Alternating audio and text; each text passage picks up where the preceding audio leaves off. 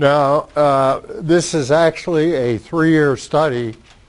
Um, back three years ago, we purchased broodstock from a commercial dealer rather than use fish uh, from our Lincoln University improved bluegill. And uh, we wanted to determine if we could make up a different diet which would cost much less than a standard trout diet because bluegill are carnivorous and uh, in the past we've had the best results on a 40-12 diet which is a standard trout finishing diet. This is a, just a picture of the diets and the approximate composition.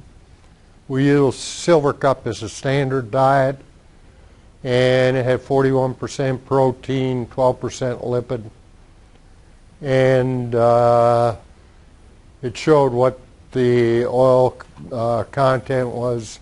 The least cost formulation had 41% protein, 7% lipid, and only uh, 90% of the, uh, or 10% of the oil was made out of uh, fish oil. 35% of the total fat was from poultry meal. Now this is kind of an ingredient list, and uh, Dr. Hayward at uh, University of Missouri Columbia uh, is the one that made out the diet, and the original diet included the major ingredient as uh, porcine meal. I think it shows it right there.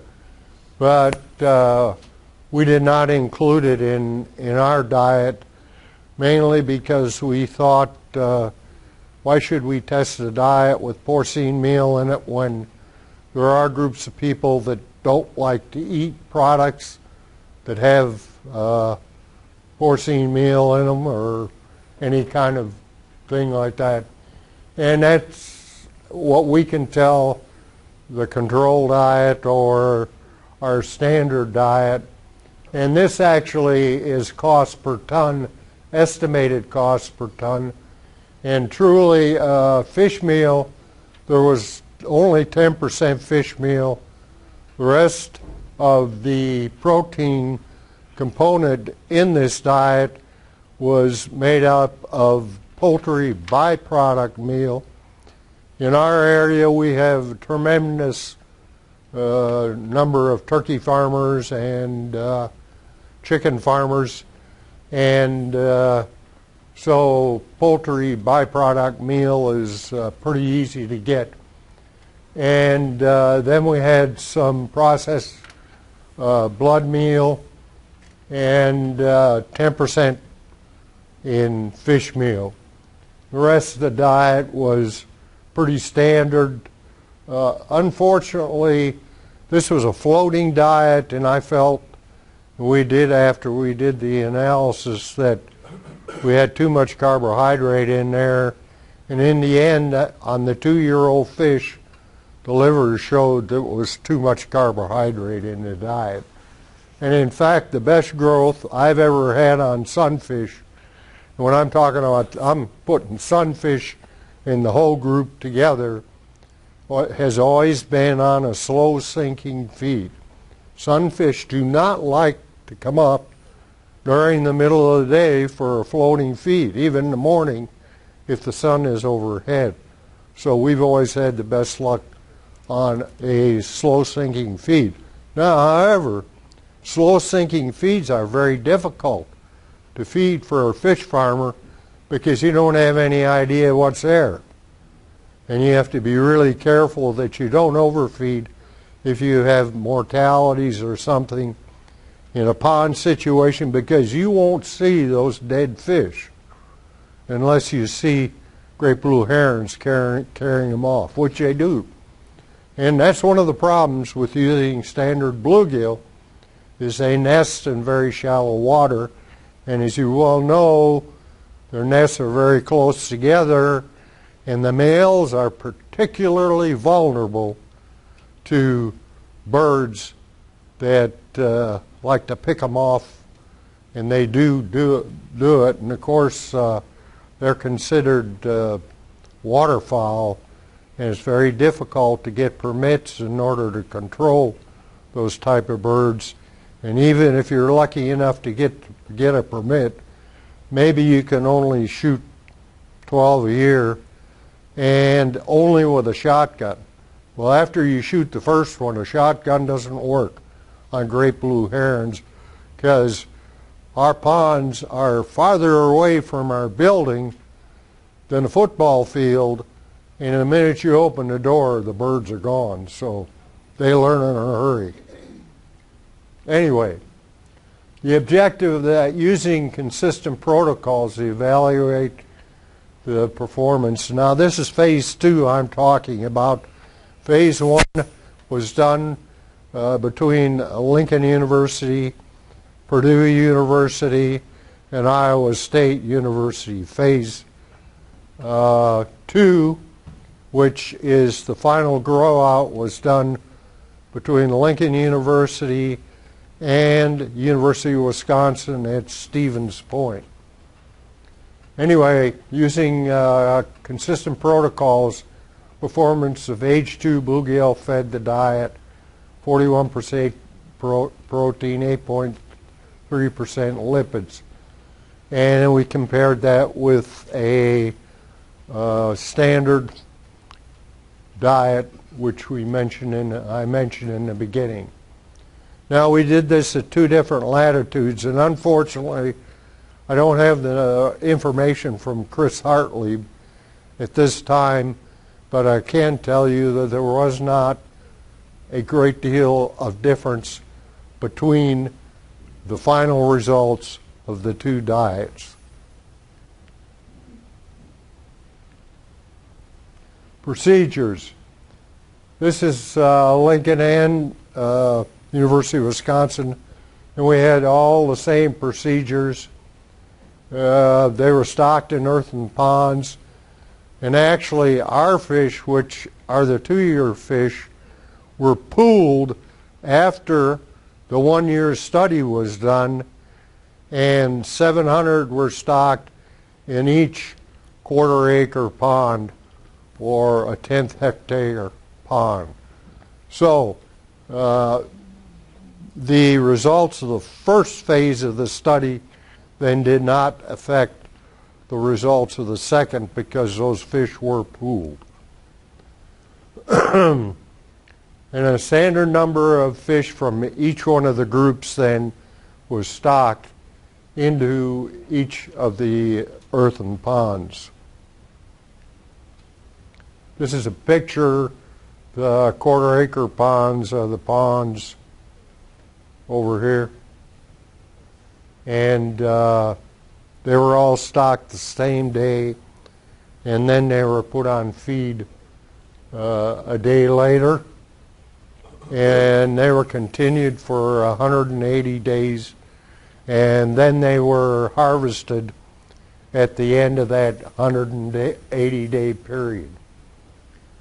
Uh, fish were fed to apparent cessation amount they could consume in 15 minutes using uh, three to four feeding rings. We use feeding rings with floating feed because uh, we do have some uh, standard southwest breezes in the summer and it tends to blow the feed away from the fish and pile it up against the opposite side of a pond. So we feed only in feeding rings and a and again, I'm not sure that that's really good for bluegill because uh, they don't really like to concentrate under a feeding ring like other fish do. But uh, if you're using a floating feed, it will blow away because uh, bluegill feed differently than most fish. They pop up and take some, and then they pop up and take, and, and it's kind of a consistent thing over time but they don't feed like a hybrid striped bass, for example, or like a shark feed. They're not feeders like that. They feed very slowly. Um, we fed uh, every day that way except uh, on uh, Sunday, and we didn't feed at all, and we just calculated the total amount of feed for the week, and we did that to try to save on uh, student labor. Uh, we normally feed our fish at uh, daylight and just before dark. However, um, the people at Wisconsin couldn't hire students that would feed that early and that late. So, so we had to go to a 8 o'clock, 5 o'clock schedule, which wasn't the best for the fish, especially bluegill. You still have a lot of sunlight. Uh, like I mentioned, these fish were harvested in October, and what we did is uh, we drew the pond down about halfway. We have simple structures in our ponds. That's uh, a pipe with a uh, Arkansas swivel on it, and you just take that swivel and you put it where you want it to draw down as much water as you would like, and uh, it's very simple. And we seine, we seine out probably 90% of the fish before we completely drain the pond and take the rest. We took uh, 200 fish samples from each pond, and uh, these fish were filleted. The they were filleted and they were each individual fish was weighed and measured, and each individual, individual fish had uh, gut and gill removed first, and that was weighed, and uh, somatic index was provided. And then uh, out of these 200 fish uh, samples, 20 fillets were taken and homogenized. They were subsampled, and the subsamples were frozen with uh, very rapid with uh, dry ice, and those samples then were later taken for approximate analysis. This is the people working up the fish in the room, and uh, we use uh, fillet knives uh, mainly electric ones because people who aren't used to doing it get a more uniform product. Now it'd be nice if you had a machine, but those types of things don't exist in the universities anyway. Ah, yes, sir. Chuck, do you have uh, some numbers on dress-out percentages for this fish? Well, uh, I'll get to that, but this was these people were novices that did this this year, and their dress, dress outs were between 21 and 25 percent. When we did it on our bluegill, uh, and we were very careful when we sampled, when, it, when we did our growth studies, we averaged 33 percent.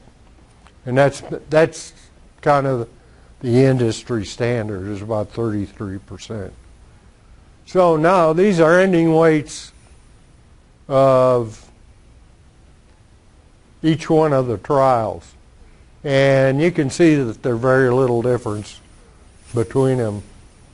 Number one and number two, number one being the standard and two the, the test diet.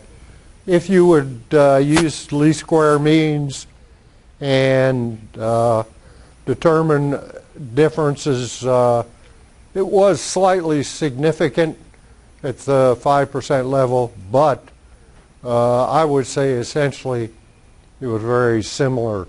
So we could say that under the circumstances that we uh, use this feed that the results were very, very similar. Now that's too much data in there, but I did this just to see if there were some pond by diet differences. And these, of course, again, are estimates based on differences in least square means. And there were some significant differences, but actually it may have been the pond effect more than it was the uh, diet effect because if you guys remember, uh, this was, was done last summer. We had a tremendously difficult summer in the Midwest, and we didn't get any rain from May until January or February. And our water temperatures were way up in the 90s, and that's really not very good for sunfish. So we it, it affected a lot of things. And that's how that's again how we prepared the samples for approximate analysis. This was the results, and I see when I transferred that it didn't come out right, but uh, again everything was the same protein, lipid, and ash.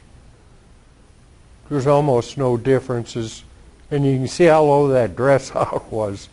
But again, this these were novices.